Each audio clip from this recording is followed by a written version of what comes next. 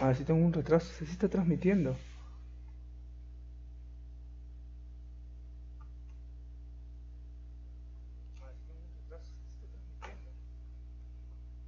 Ok, ok.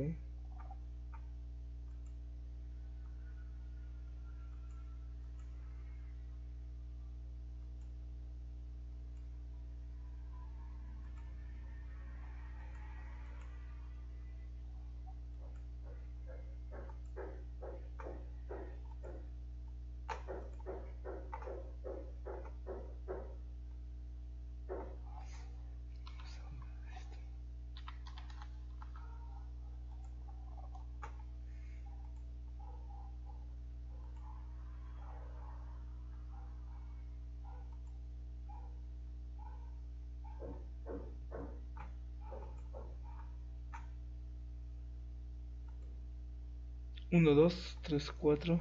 Ya, vamos a comenzar. Esto luego lo hacemos. Vamos a mover esto por acá. Esto por acá. E iniciamos. A ver, dice, son aquellos triángulos rectángulos donde existe una proporción entre sus lados. Tenemos tres triángulos notables. Bueno, están presentados tres. Hay varios. ¿Ya? Ay, ¿qué pasó? Se movió todo. Listo. Tenemos dos triángulos notables. Tenemos tres triángulos notables. Lo que debes saber o debes conocer primero es lo siguiente, algo básico. En todo triángulo rectángulo, está bien, que va a tener tres lados, siempre vamos a encontrar este de acá, que es el 90. ¿Ya? Lo que debes conocer es que mirando esa línea, mirando, mira, mira, mira, al frente de esa línea, la que estaría pintando esta línea blanquita, esta línea blanquita que está y la reconoces porque va a estar justo, justo, justo frente del 90, esa línea se llama hipotenusa. Hipotenusa. Eso es lo primero que debes saber. Si no sabes eso, apréndelo. Ahí está, hipotenusa.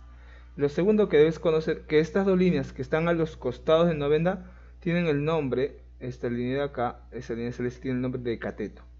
Cateto. La otra línea, que está también al costado del 90, también recibe el nombre de cateto. Ambos se llaman catetos cateto. ¿Ya? Ahora, hay dos palabras que siempre se confunden los muchachos. Una es opuesto y adyacente. Adyacente.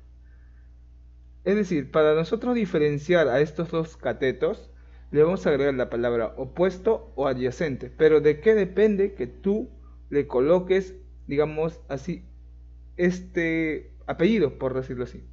¿Ya? ¿De qué depende que tú le coloques si es opuesto o adyacente? Depende del ángulo. Por ejemplo, si acá tienes el ángulo, mira, mira, aquí es el ángulo, ángulo alfa. El que está a su costadito, la línea que está a su costadito, ya, él siempre va a ser hipotenusa. El, el cateto que está a su costadito va a ser cateto adyacente. Adyacente, él va a ser cateto adyacente. ¿Por qué? Porque está junto. Adyacente significa junto a, pegado. ¿ya? Entonces, si él es adyacente del otro, ¿qué es? Opuesto. Opuesto. No olvides, ¿ah? Si está pegadito al ángulo, adyacente. Y él sería, ¿qué cosa? Opuesto. ¿Por qué? Adyacente significa junto, pegado al ángulo. Ahora, ¿qué ocurre si tu ángulo, no, qué ocurre si tu ángulo no está acá abajo? ¿Dónde está? Arriba. Si el ángulo está acá arriba, la cosa cambia. El que está a su costadito, ¿cómo se llama? Adyacente. Porque la palabra adyacente no olvides, significa junto. Recuerda adyacente significa junto, junto al ángulo. Entonces, el otro, ¿qué tiene que ser? Opuesto. Nada más. Adyacente, ¿qué significa? Junto al ángulo. Opuesto. Entonces, recuerda la palabra adyacente, lo vuelvo a repetir, junto te fijas en el ángulo y ah, está junto, será cateto adyacente. Eso es lo primero que debes saber. Recordar qué significa la palabra adyacente, recordar que ambos son catetos y que la palabra opuesto o la palabra adyacente que se le suele agregar está en función de dónde está ubicado el ángulo. Si el ángulo está arriba, si el ángulo está abajo. Ya, eso es lo que te va a definir que un ángulo sea adyacente, u, en todo caso opuesto. Por eso yo no le pongo adyacente u opuesto a ninguno de ellos dos. Tú lo tienes que diferenciar de acuerdo a la posición del ángulo. Por ejemplo, en el triángulo que tenemos acá, ¿no? el triángulo que nos han dado, nos piden el seno. Para eso tienes que recordar todas las razones trigonométricas. No es algo que vayas a, este, eh, digamos, eh, eh, no es algo que vas a resolver, es algo que debes saber. Es como tu abecedario. ¿Ya? O sea, el abecedario, le sabes, A, B, C, D, E, igualito. Ahí están las seis razones y debes saber qué es el seno. El seno es cateto opuesto sobre hipotenusa. El coseno es cateto adyacente sobre hipotenusa. Muy grueso este lápiz, no lo voy a hacer más chiquito. Ya lo voy a borrar. Vamos a borrarlo nuevamente. vamos a ver. El, el, seno, no olvides, es cateto opuesto sobre hipotenusa. Es algo que debes saber. Coseno, cateto adyacente sobre hipotenusa. Tangente, coca, cateto opuesto sobre cateto adyacente. Con tangente, caco, cateto adyacente sobre cateto opuesto. Secante, hipotenusa sobre cateto adyacente. Y cosecante, lo pongo por abajo, ya no me alcanza espacio, hipotenusa sobre cateto opuesto. ¿Qué es co? Cateto opuesto. ¿Qué es CA? Cateto adyacente. ¿Qué es H? Hipotenusa. Entonces comenzamos, sencillo. Seno de 30, tienes tres triángulos. ¿Cuál vas a usar? Donde diga 30. Pues, ¿no? Donde diga 30. Usamos este de acá. Donde diga 30. ¿Ya? Entonces decimos seno es cateto opuesto sobre hipotenusa. Identifica tu triángulo. Ah, él es la hipotenusa. Siempre va a ser la hipotenusa porque está frente de quién? 90. La hipotenusa. Seno de 30. Ya, él es la hipotenusa. Entonces, él es, ¿qué cosa? El que está a su costado, cateto opuesto, cateto, perdón, cateto adyacente porque está junto a él y cateto opuesto. Seno de 30 sería raíz de 3 sobre, olvídate de la K, acá no nos interesa la K, la K es para otro tipo de problemas. Raíz de 3 sobre 2. ¿Por qué? Porque el seno es cateto opuesto, perdón, ¿qué estoy haciendo? Seno. Cateto opuesto sobre hipotenusa. Seno sería 1 sobre seno sobre 2. ¿Qué? ¿Qué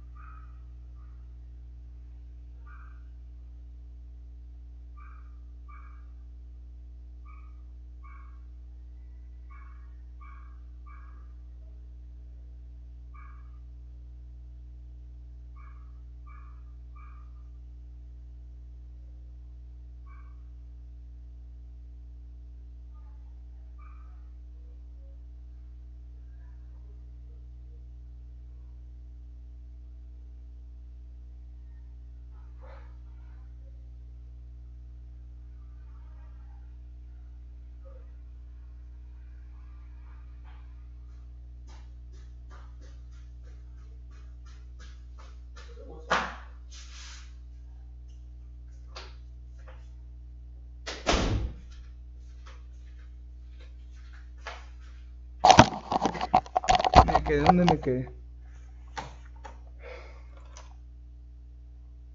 Ay, contestó no. Contesta, Pepa, contesta. Ya. vamos a ver. 0.30 sería un medio. Eh, y sigues, pues tienes que ser cada uno. ¿Ya? Entonces te interesa. Coseno, dice, coseno. Cateto adyacente sobre hipotenusa. Cateto adyacente, ¿qué sería? K raíz de 3 sobre hipotenusa. O sea, raíz de 3. Ay, muy grueso están los lápices. Raíz de 3 sobre 2. Listo. Eh, vamos a hacer más delgado. Tangente, coca. Cateto opuesto sobre cateto adyacente. 1 sobre raíz de 3. No te interesa la K, te interesa solamente los números. Con tangente al revés, raíz de 3 sobre 1. Te vas guiando, mira, secante, hipotenusa, ¿cuánto es? 2. ¿Sobre quién? Cateto qué? Adyacente, cateto adyacente. Cateto adyacente, ¿quién sería? Raíz de 3. Cosecante, hipotenusa sobre co. 2 sobre 1. Listo, se acabó. Pasas al siguiente. Entonces, ahora modificas nuevamente. Acá siempre él va a ser la hipotenusa. Acá siempre este va a ser la hipotenusa. No lo olvides. ¿Por qué? Porque está al frente de 90. Eso no cambia. Él siempre va a ser la hipotenusa. Entonces, ahora dice de 60. Pasas al de 60. ¿Dónde está el de 60? Está acá. Entonces, ambos se llaman catetos. Ambos son catetos. La pregunta es, ¿qué le das? ¿Opuesto o adyacente? Eso varía, por eso digo. Entonces, si esta línea que está a su costado, el 1, está a su costado, no olvides, cuando está a su costado, adyacente significa junto. Entonces sería el cateto adyacente y ahora él cambiaría a ser cateto opuesto. ¿Por qué se modificó? Porque simplemente estamos fijándonos en el ángulo, ¿no? Depende del ángulo si se llama adyacente o si se llama opuesto. Sencillo, ¿ah? Entonces comenzamos. Seno, co, en este caso sería raíz de 3, ¿Sobre quién? Hipotenusa que es 2. Coseno. ¿Quién sería coseno? K, cateto adyacente, ¿ya? Cateto adyacente sobre hipotenusa. Coseno sería cateto adyacente que es 1 sobre hipotenusa que es 2. Tangente sería coca, raíz de 3 sobre 1. Con tangente sería 1 sobre raíz de 3. Secante, secante hipotenusa, que es 2 sobre cateto adyacente, que sería quién? 1. Y acá sería 2 sobre raíz de 3. Listo. ¿Y ahora dónde vas? Al 45, porque dice el de 45. Entonces identificas nuevamente el de 45. De todos los lados, este de aquí es la hipotenusa. ¿Cómo sabes que es la hipotenusa? No olvides, está al frente de quién? De 90, mira. Ahí está, al frente de 90. Aquí igualito, mira, él es la hipotenusa. Eso tienes que recordarlo y manejarlo. Los demás va a variar. Acá hay 2.45, ¿cuál utilizas? Cualquiera, es lo mismo.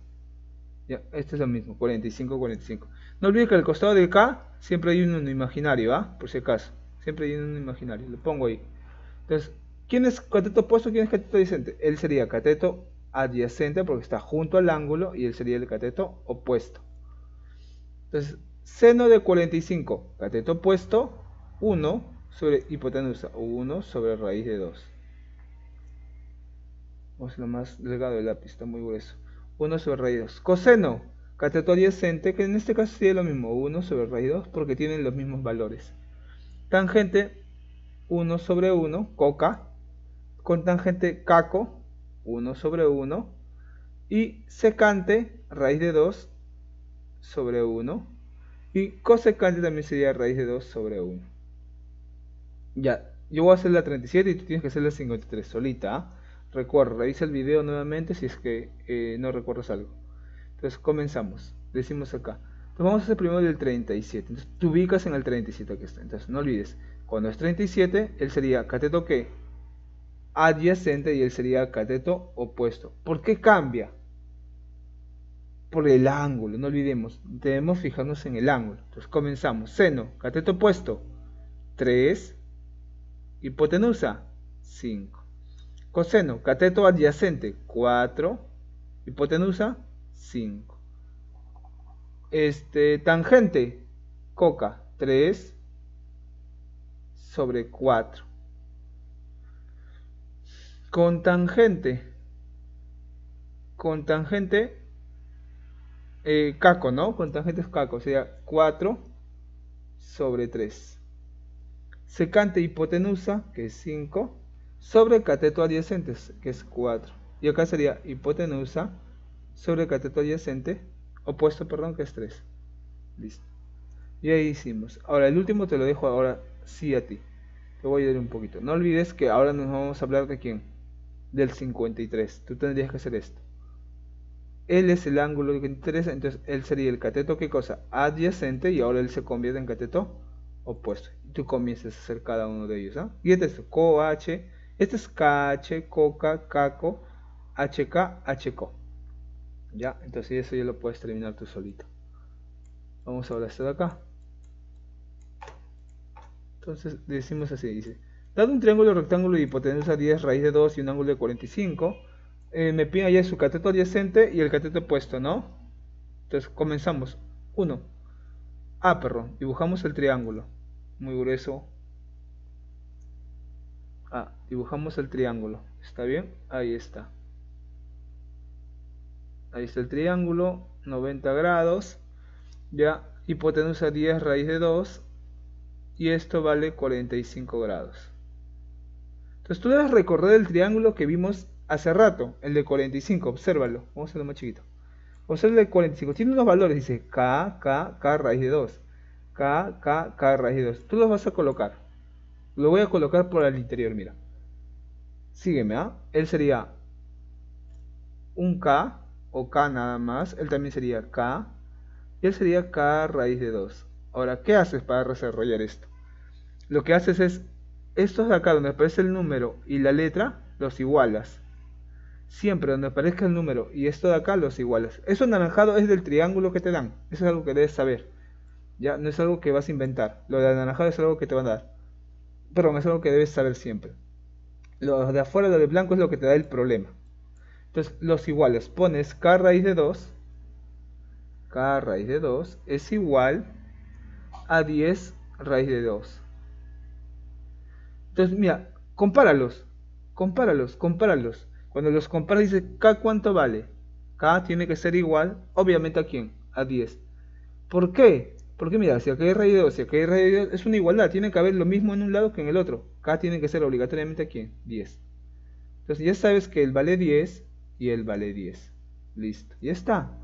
Porque 10, este sería el cateto, ¿qué cosa? Adyacente. Y este sería el cateto opuesto. O sea, la respuesta es 10 y 10. ¿no? Cateto adyacente vale 10, cateto opuesto vale 10 también.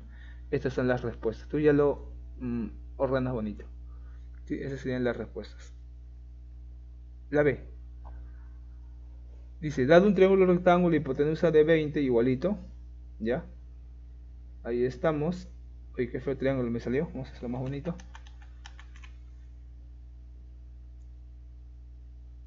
Ya, ahí está. Un triángulo. Listo hipotenusa vale 20 y este ángulo vale 30, digamos. Entonces tú debes recorrer lo siguiente, nuevamente tu triángulo, aquí está tu triángulo. ¿Dónde está? 30 y 60. Ya, para que no te confundas, vamos a poner 30 acá abajo, arriba, ¿ya? Como para que lo veas igualito. Uy, se movió. Vamos a poner acá el 30 arriba. Y así te vas a guiar un poquito mejor. Acá vamos a colocar el 30, como está en tu dibujito. 30 grados. Listo. Entonces tienes que recordar estos valores. Estos valores debes manejarlos siempre. Pues es como tu abecedario. 2K, 1K, K raíz de 3. Entonces 2K, 1K, K raíz de 3. Colocamos los valores. Al frente del 90, 2K. Al frente de 30, 1K. Y acá sería K raíz de 3. Entonces, ¿qué hicimos? Igualamos. ¿Qué cosa igualamos? justo donde está el numerito que nos dan con este anaranjadito ahí y ponemos 2k no igual a cuánto a 20 cuánto valdría k k vale 10 ya tienes que k el valor de k es 10 ¿ah? por si acaso acá se rayó no lo tapó ahí está ¿y qué pasó? ¿qué es eso? se retrocede Qué raro, le puse un esto y se borró. Un rito. El SK, ya. K vale 10. Entonces comienza, mira. Si el SK, acá dice un K. Eso dice 1 por 10, porque K vale 10. 1 por 10 vale 10. Si K vale 10, o sea, en vez de K que colocas 10. Entonces, ¿esto qué sería? 10 raíz de 3. Listo. No olvides que está el, que está a su costadito es el cateto adyacente. Y el que vamos a ponerle otro color no sé mal. El que está a su costadito es el cateto adyacente, ¿no? No olvides eso. Y él sería el cateto opuesto. Y esa sería la respuesta, o esa sería la respuesta. Cateto adyacente, cateto opuesto. Para la C.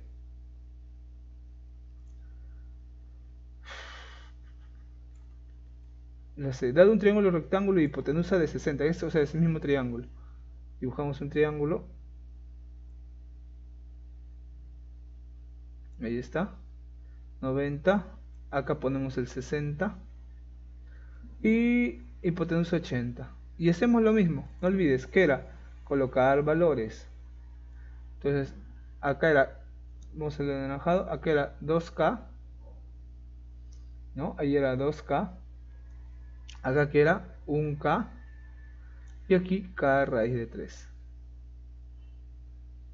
Se la geocro, ahí está, K raíz de 3. Listo. Y luego igualamos estos de acá. Los igualas, pones 2K igual a 80 por lo, a 80 perdón. Por lo tanto k vale 40 porque si 2 valen 80 1 tiene que ser 40 no hay otra respuesta. Ya 1 vale 40 entonces pone y eso es que un k o sea 1 por 40 eso sería 40 o sea y en vez de k 40 o eso sería 40 y le agregas la raíz de 3 y acá ten cuidado. El qué sería él está al costado de 60. El de acá sería el cateto adyacente y el de acá ahora sería el cateto opuesto. ¿Por qué? Porque depende del ángulo. Y lo marcas. Ahí está. Esas son las respuestas, ¿no? Cateto adyacente, cateto opuesto. Necesitas la A, la B, la C. Y te paso ahora la D. La D sí es un poco distinto y necesitamos una calculadora. ¿Ya? Si no usamos calculadora ahí científica, no sé te han enseñado, pero no es un triángulo notable, por lo que he visto la D. Si vas a necesitar una calculadora científica. Entonces se hace así. Excepto que solo te haya indicado y si sería interesante. Él es 25, ¿ya? Y este ángulo mide 16,26 grados todavía, ¿no? Ni siquiera es minutos, 16,26 grados. Ahora, te piden hallar el cateto opuesto y el cateto adyacente. El de abajo, esta línea de abajo sería el cateto adyacente, ya lo sabes, porque está junto al ángulo y el de acá sería el cateto opuesto. Ahora, ¿cómo se calcula en este caso el cateto opuesto y el cateto adyacente? El cateto adyacente sería de esta manera, sería x sobre 25, ya eso se convierte en cateto opuesto, cateto adyacente sobre hipotenusa es coseno, sería 25 por el coseno, ya, de 16,26 grados. Y acá el cateto opuesto sería 25 por el seno de 16,26 grados. Esas serían las respuestas de cateto opuesto y cateto adyacente. Ahora, si tienes calculadora científica, operas, por decir 25 por el seno de 16,26 grados. No sé si te han enseñado a usar calculadora científica o si lo están usando o lo están dejando ahí. Pero esto sí necesitas hacer una calculadora científica para saber el número, como 40 raíz de 3, 40, exacto. la E es parecido. Lo mismo, hacemos un triángulo, ya, dibujamos, ponemos el 90, y acá ponemos hipotenusa 15, y acá ponemos 53,3. Listo. Entonces, Nuevamente identificamos que la línea de abajo es el cateto adyacente y la línea que está en vertical es el cateto opuesto. Eso hay que identificarlo siempre. Cateto adyacente porque está a su costado. Pero, ¿cómo es que llegué al coseno? Sencillo.